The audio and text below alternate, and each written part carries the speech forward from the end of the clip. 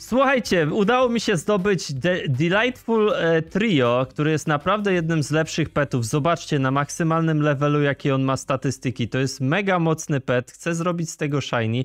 Żeby go dostać, musicie zrobić wszystkie challenge z Mining Simulator 2. Ciekawe, czy wam się uda. Dajcie znać, czy już ktoś z was zrobił te challenge i czy macie już wersję shiny tego peta. Ciekaw jestem.